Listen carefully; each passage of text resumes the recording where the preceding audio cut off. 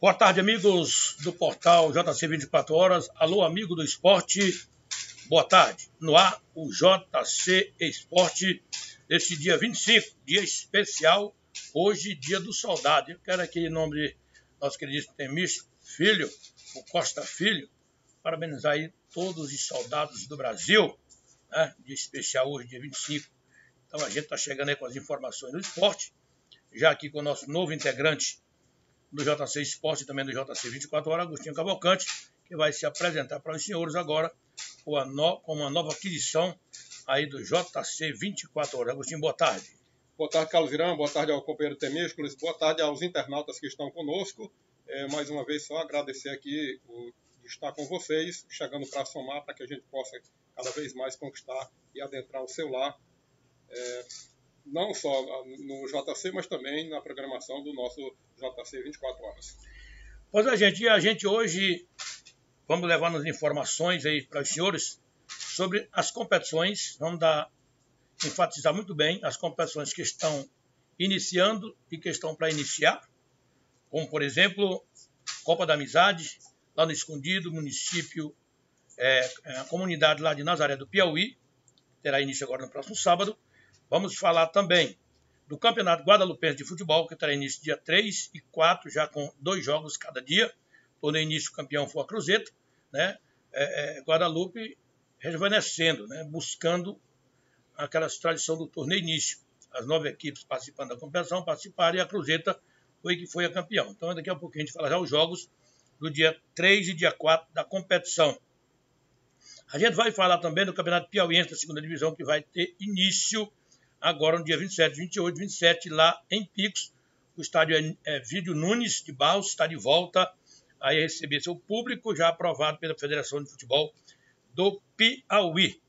Já já também a gente vai falar sobre a decisão, sobre a decisão é, do campeonato lá de São Francisco do Maranhão, onde o time de Floriano já está na grande final, uma premiação altíssima lá, e vai disputar contra o Liverpool da cidade de Valença. Amanhã, final, amanhã à tarde, lá em São Francisco. Né? Então, o improviso de Floriano, de Dr. João Pedro, o nosso parceiro aqui do JC 24 Horas, já está, já está na final. Viu? Uma premiação de 40 mil reais. Esse negócio lá é pesado em São Francisco, viu? Então, a final vai ser amanhã. Improviso e o time do Liverpool de Valença.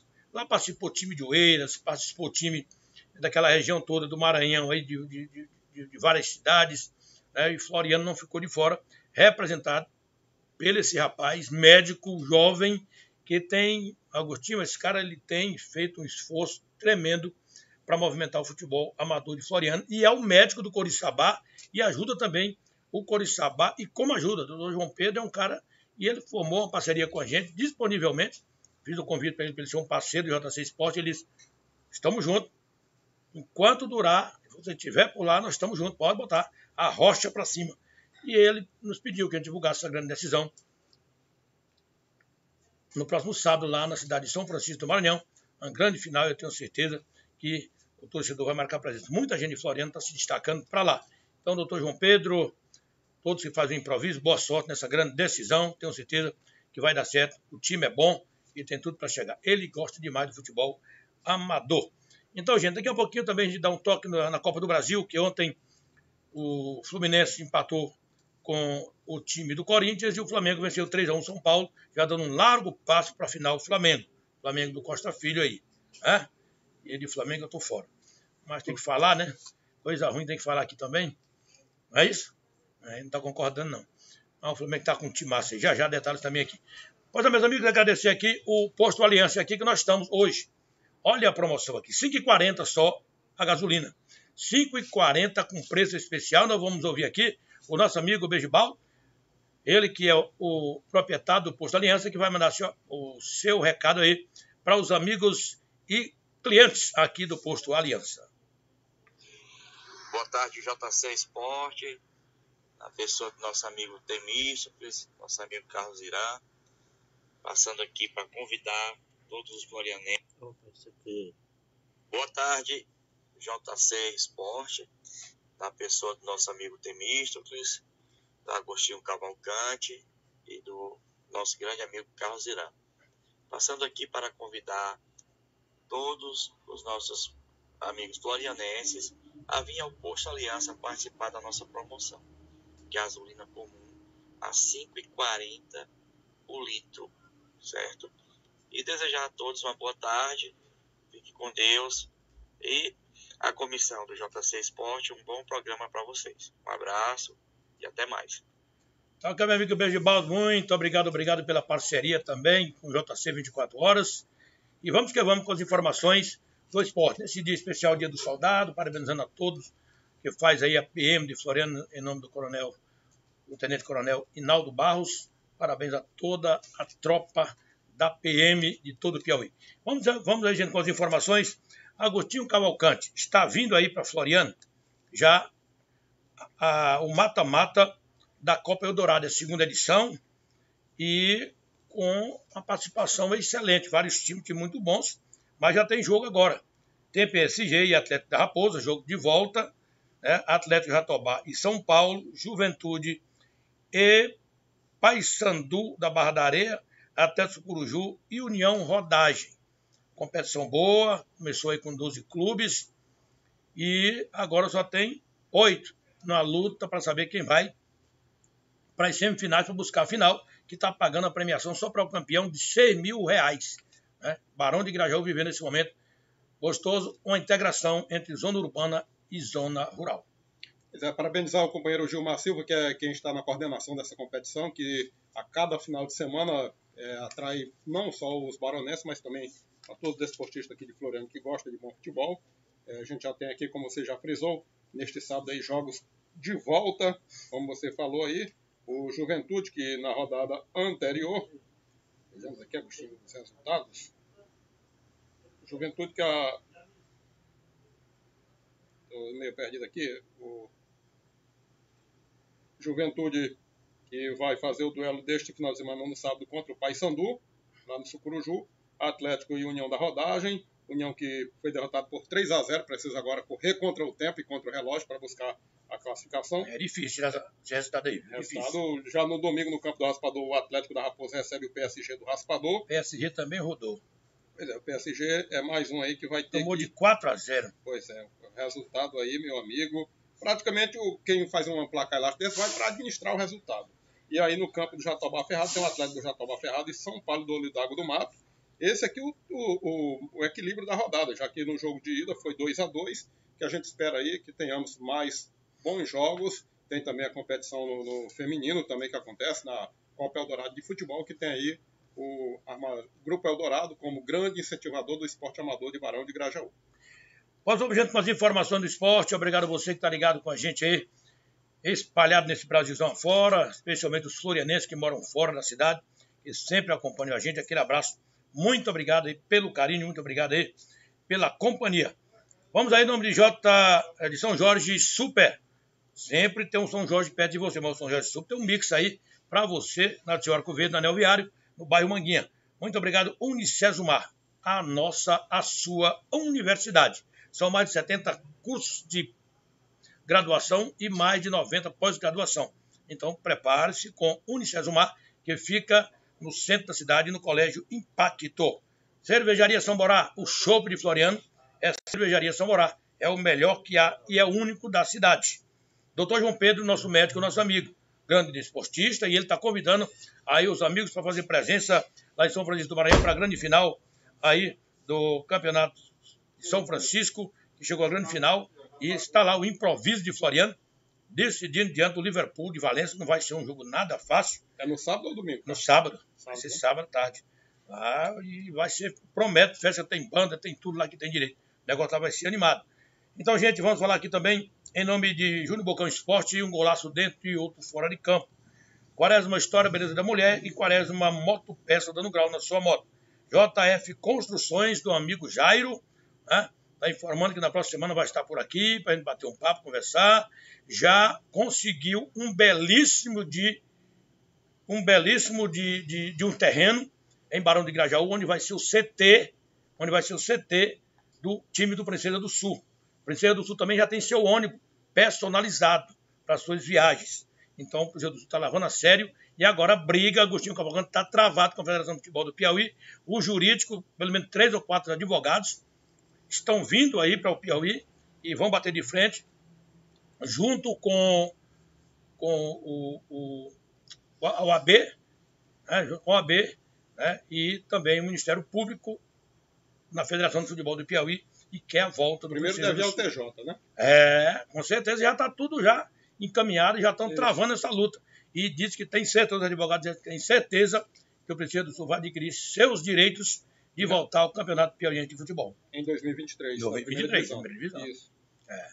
O negócio você pegou. Eles não quiseram nem comprar a briga travando aí na, na, segunda divisão, porque disseram que quando pediu afastamento foi na, na, na primeira, divisão. primeira divisão. Exatamente. E, e eu lhe digo, o Jairo tem um potencial imenso para isso, e seu jurídico é muito bom e tem conhecimento da causa.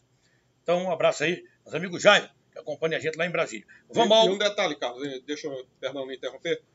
Essa pressa tem que haver porque o Piauiense começará em janeiro de 2023. Exatamente, exatamente. Então, os clubes de Floriano, Coriçaba e Princesa precisam atentar essa reforma do Estado Tibério Barbosa precisa ser acelerada, porque não pode deixar para a última hora, vai comprometer não só o, a, o, trabalho dessas equipes que pretendem disputar a primeira divisão, no caso o que já está confirmado, e o Princesa que busca a sua vaga por mérito, mas porque precisamos ter uma melhoria na nossa principal praça de esporte, para que, não só para o jogador, mas também para o torcedor. Precisa, estamos no século XXI, precisamos de umas acomodações melhor e para isso é necessário que o poder público do município corra contra o tempo para que não atropele os times locais. Tivemos agora em Pix, o, se o René não, não toma a partida, praticamente o CEP teria que disputar a segunda divisão fora de seus domínios. Mas aí o René chegou a um acordo com o município. Jogador René, né? Isso, o R6, como é conhecido hoje lá, lá em Picos. E, e, lá, e hoje jogador do Internacional. De Porto Alegre. Isso, beleza. Pois é, gente. E a gente agradece também a Vamol, o jeito fácil de comprar. Está aí no JC 24 horas com a gente. Aí uma gravação feita ontem, um vídeo com o Genil Souza, falando das promoções, especialmente de sofás. Chegou um belo lançamento aí de novos sofás lá na Vamol, ali em frente ao Mercado Central. Pois é, gente, vamos agora aqui também falar, nós falamos aqui da, da Copa Eldorado, vamos falar aqui agora da Copa da Amizade. Agostinho Cavalcante, essa Copa da Amizade lá no Escondido, uma localidade. Inclusive, eu estou até mandando uma bola amanhã para eles me pedirem uma bola. Meu parceiro, nos ajude. O JC, 24 horas, você aí que gosta do esporte, manda uma bola para gente. O campo está no jeito, as 12 agremiações estão no ponto, são quatro grupos de quatro, está tudo organizado. Mas uma bola, nós estamos pecando aqui, rapaz. Eu, às vezes eu, eu fico a pensar, viu? Dentro do município, na localidade, em pleno ano político, rapaz. Nem com isso os caras não se sensibilizam, né? e levar uma ajuda para uma competição como essa. 12 agremiações em uma comunidade, em um povoado. Mas a bola está indo amanhã, viu? O Jota vindo para Floriano vai levar a bola para vocês aí sim, em nome do JC, 24 horas, viu? Para que possa aí fazer uma grande competição e a gente vai acompanhar. Agostinho, competição lá tem 12 agremiações participando. O grupo A está aí com, com o Paracati, bem aqui, Paracati de Floriano, Sim. para lá. Cercado Velho, Limões. No grupo, no grupo B tem Cipaúba, Juventude e Escondido, que é honrando o nome da, da competição e da comunidade.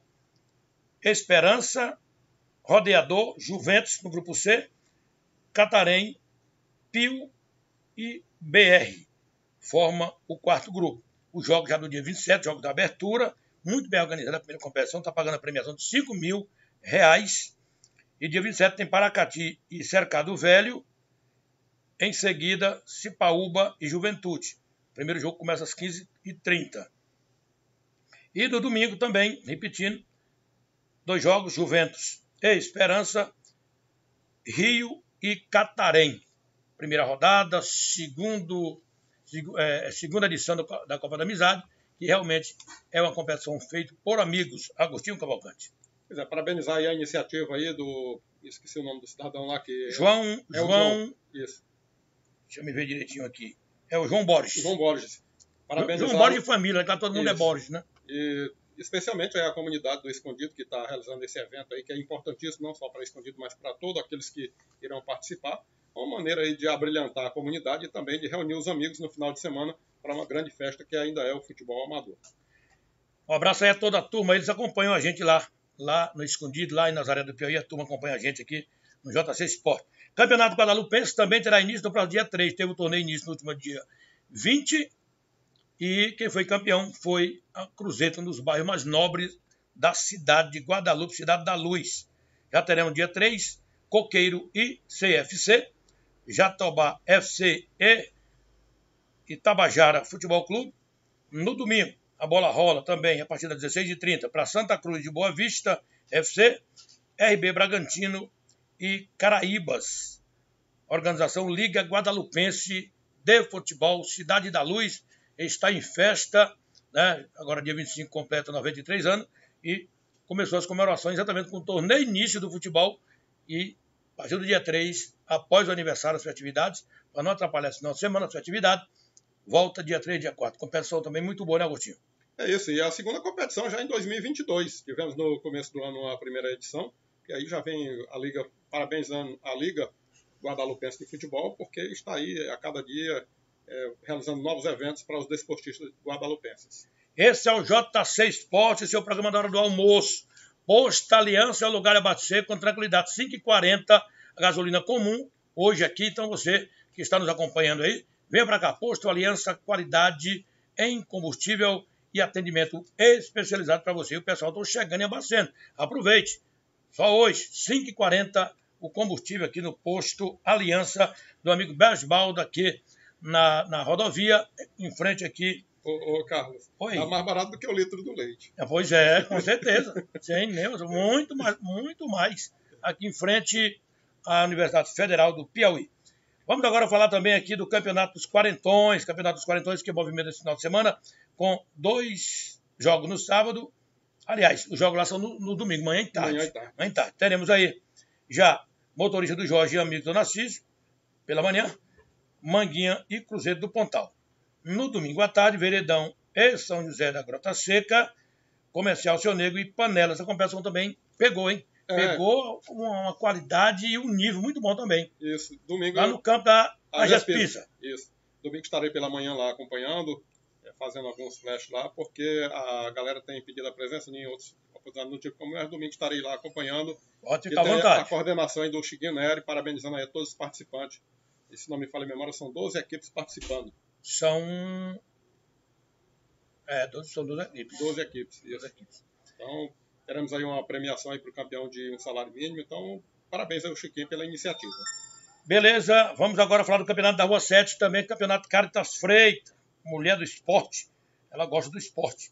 E está sendo homenageado aí pela, os organizadores da Rua 7, que é o amigo Adilson Carvalho e Rafael Pacífico. Teremos aí a quarta rodada para Coringão e Juventude, Caixa d'Água e Alto da Guia no sábado. No domingo, jogo isolado, às 16 horas, São Paulo e Portuguesa. Então, você é convidado especial. A competição também está muito boa, está um nível bom. O pessoal tem comparecido lá, o campo da 7 é um campo centralizado e o pessoal termina se divertindo um pouco, tomando cervejinha, assistindo futebol às tardes dos sábados e domingo, Agostinho. É isso, campeonato aí é organizado pela Dilson de Carvalho, que está chegando aí já na sua fase de classificação, a primeira fase. E o Edilson também que está convocando aí, Carlos, para o Campeonato da Rua 7 Sub-20. A abertura será no próximo dia 9 de outubro, com inscrições de 200 reais. Então, parabéns aí ao Edilson, que está novamente resgatando o futebol no campo da Rua 7. Muito bem.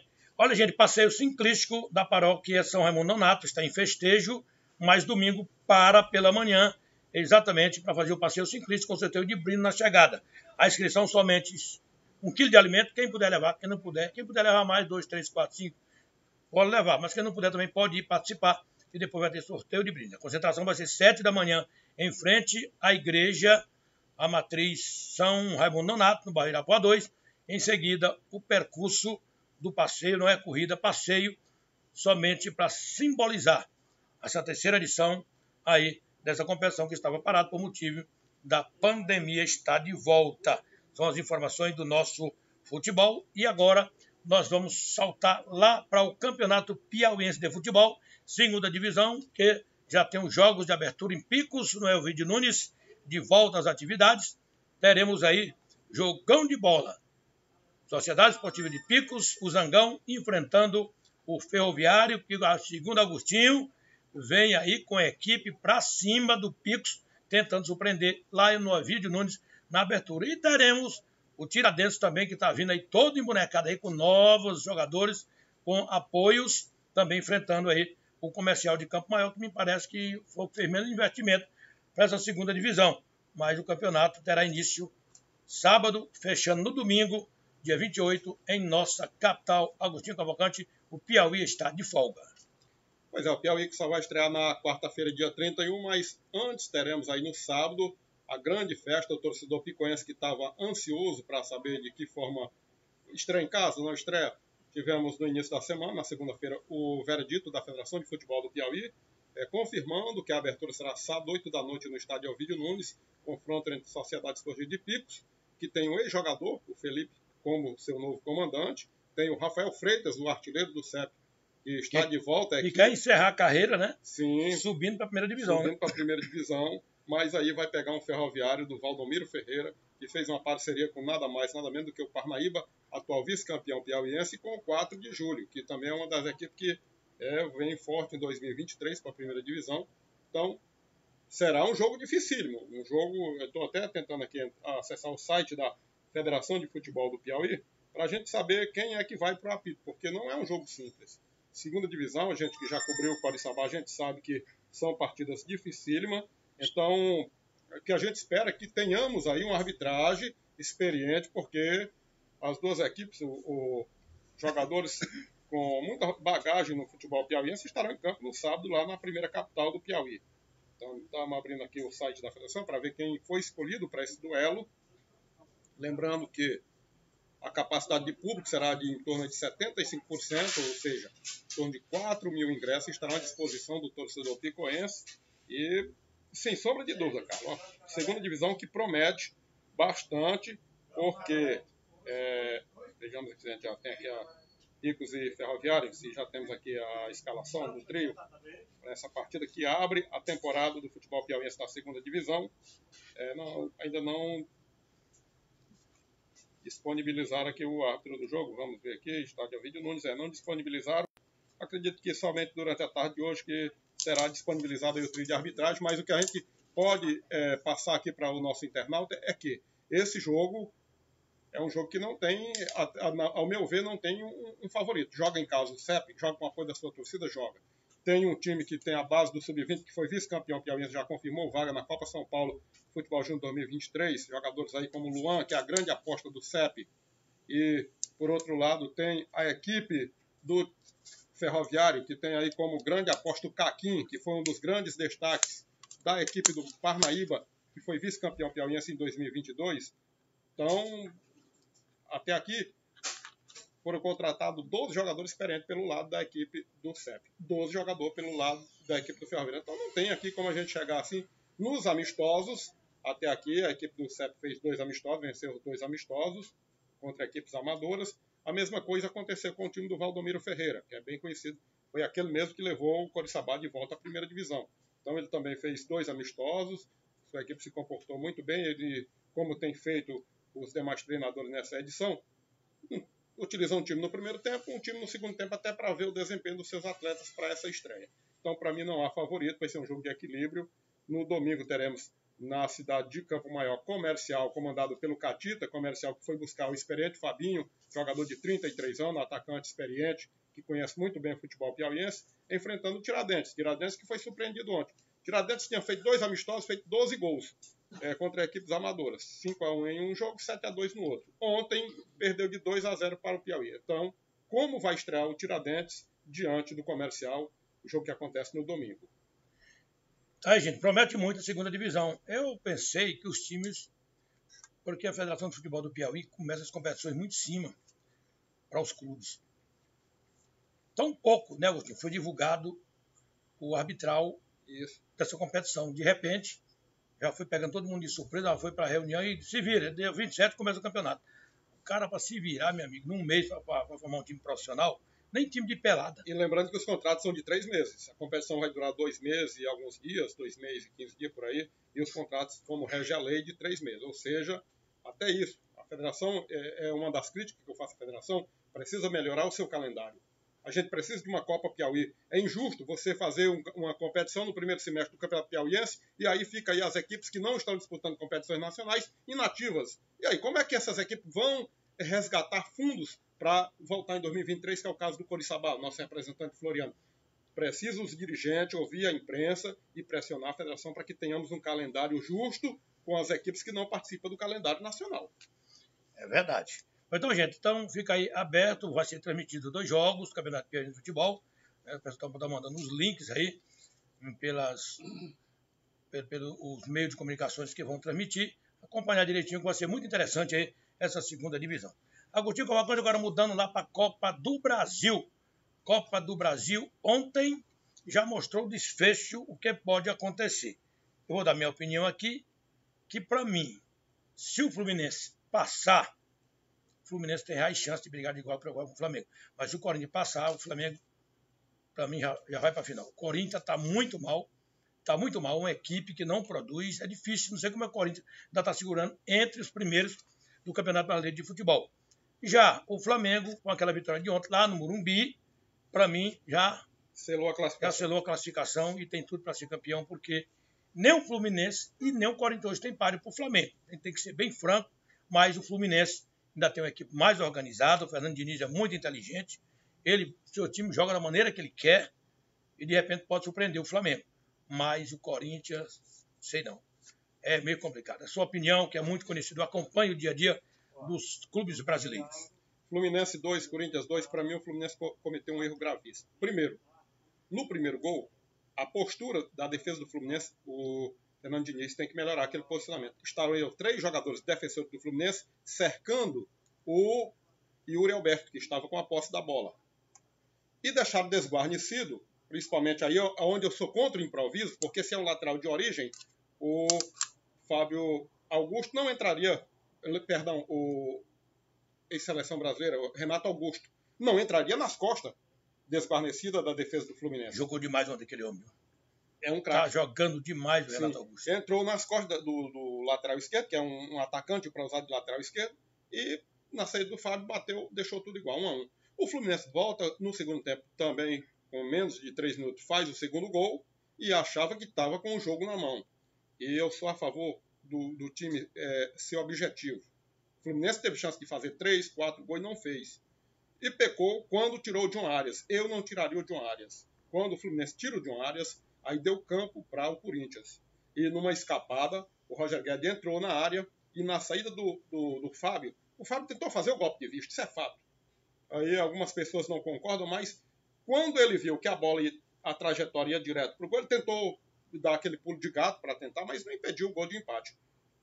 Poderá custar caro esse gol? Pode. Mas o Fluminense hoje, eu vejo o time do Fluminense um pouquinho mais encorpado do que o do Corinthians para esse jogo de volta. É Itaquera? É casa cheia? É pressão? É. Mas para mim o torcedor está na arquibancada. Quem está dentro de campo é os 11 jogadores. Agora o que tem que mudar é a postura defensiva do Fluminense. Time que está jogando em casa tem a chance de matar o jogo. Não matou, sua defesa tem que estar tá atenta aos 90 minutos. No outro jogo, no jogo do Morumbi, o São Paulo teve uma posse de bola? Teve. Mas jogar contra o Flamengo, o Flamengo é uma das equipes que tem um elenco robusto. E o Flamengo vem sentindo, porque o Flamengo vem de uma maratona, onde ele pegou o Atlético Paranaense no jogo dificílimo, quando se joga no campo sintético do Atlético. Pegou no final de semana o Palmeiras também, campo sintético, jogo dificílimo, onde arrancou o empate. No jogo de ontem, se a equipe do Rogério Ceni fosse uma equipe mais aguda, e eu digo isso porque falta um homem de criação no meio campo do São Paulo. Eu não sei o que, que o John Texto vê no Igor Gomes, que eu não vejo nada. Para mim, é um jogador que não contribui, não influi. O que é que fez o Igor Gomes ontem? Nada. Em nenhum momento a bola chegou no Caleri. Caleri é artilheiro do São Paulo. Então, o, o papel do Igor Gomes era municiar os atacantes. A válvula de escape no primeiro tempo do time São Paulino era quem? Reinaldo e o Patrick. Que em um chute, o Santos fez uma grande defesa, e aí uma escapada do Flamengo, cruzamento do Everton Ribeiro, que joga fácil, na cabeça do garoto João Gomes, mal posicionado o goleiro do São Paulo, Andrei, goleiro que se preza não escolhe um canto, ele espera a definição do lance para ir de encontro à bola e ele foi para o primeiro pau. O João Gomes cabeceou no contrapé dele, fez 1 a 0 São Paulo martelou, martelou, teve em torno de 18 o escanteio e não tirou proveito nenhum e nem vai tirar. Por quê? Porque a defesa do Flamengo é uma defesa alta e sólida. Eles marcam homem a homem e deixam sempre alguém na sobra. Então, em nenhum momento o São Paulo ofereceu perigo nas bolas cruzadas na área. O Santos fez uma defesa no primeiro tempo e só. No segundo tempo, ele botou o Galo, que é um jogador que se esperava um pouquinho mais, e o Flamengo tirou o João Gomes, que estava cansado, porque ele não é um homem de ferro, é um ser humano normal, botou o Vidal, fechou a casinha. Numa outra escapada, e aí tem uma interrogação nesse lance. O Arasqueta leva a bola ridiculamente com o braço. Eu não sei para que serve o VAR no Brasil e sei. Para beneficiar A e prejudicar B. Isso é fato. Leva a bola com o braço, o VAR não interferiu. Aí um cidadão que estava lá na cabine, ah, mas o lance passou pela direita. A regra não diz isso. A regra diz que se a. Por exemplo, o Botafogo já foi vítima disso. Fez um gol e depois do gol o VAR entrou em ação e anulou o gol do Botafogo. Quer dizer que só, só vale para Zé, não vale para José? Então, mas o outro erro do goleiro São Paulino ele espalma a bola, uma bola fácil e fácil defesa. Se ele não pode, joga para a linha de fundo. O goleiro é treinado para isso. Ele tentou, acho que segurar a bola, deu nos pés do Everton Ribeiro, que devolveu para ele. Ele dá nos pés do Gabigol. Aí fica fácil. 2 a 0 São Paulo buscou uma força. No único chute que deu a gol, foi gol. Houve desvio no, no, no Vidal? Houve. Mas fez o gol. São Paulo não pode ficar naquela de ter a posse de bola para lá, para cá, fazer cruzamento sem dar em nada. Tem que ser objetivo. Futebol hoje exige que você seja objetivo e o Flamengo mostrou isso ontem. E no outra escapada do Flamengo, a bola cai no pé de quem? De Everton Cebolinha, que é uma jogada característica dele. Quem conhece Everton Cebolinha desde os tempos de Ceará e Fortaleza sabe que o forte dele é chamar para dentro e bater na diagonal. Fez isso, selou o caixão 3 a 1 para mim, o jogo de volta. Se o São Paulo jogar como jogou ontem, vai ser goleado no Rio de Janeiro. Eu vejo Fluminense e Flamengo como possíveis finalista da Copa do Brasil de 2022. Bom, então, meus amigos, vamos ficar devendo para os senhores. Campeonato Brasileiro Série A, B, C e D. Outra oportunidade a gente passa tudo para vocês, tá bom? Agradecer aqui o Posto Aliança mais uma vez por nos receber aqui, para que a gente possa divulgar também as suas promoções. E hoje a gasolina no Posto Aliança está só R$ 5,40. Venha para cá, abasteça com qualidade e tenha a certeza de um combustível também com muita qualidade e responsabilidade. Muito obrigado, São Jorge Super, muito obrigado, Unicesmar, obrigado, Cervejaria Samborá, o Chupre Floriano, doutor João Pedro, nosso médico, que eu reforço aqui o convite, gente, olha, sábado tem decisão em São Francisco do Maranhão, a bola vai rolar numa das maiores competições da região, pagando a premiação altíssima para improviso de Floriano de doutor João Pedro, enfrentando o Liverpool da cidade de Valença, sábado, lá em São Francisco. Ele pediu para a gente divulgar. Amanhã ele vai ter uma participação especial no JC 24 horas. À tarde, eu acho que vou tomar um cafezinho com ele na sua residência para a gente formular o convite, né, selar né, cada dia mais essa parceria, onde ele vai contar toda a história da competição, como foi que o time participou, todo. Vamos fazer um vídeo com ele, fazer, porque esse horário é complicado para ele, meio-dia, que ele está sempre de plantão no hospital. Né? Mas ele pediu que a gente fosse na sua residência, para conhecer essa residência dele, e pudesse fazer uma matéria com ele, a gente está devendo, nós vamos lá, se Deus quiser.